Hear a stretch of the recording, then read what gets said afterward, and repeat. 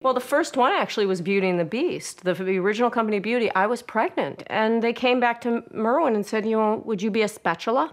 And Be in the ensemble. would you be in the ensemble and be a understudy? spatula and with a pat of butter on your head? And God bless him, he said yes because he had we had a baby coming.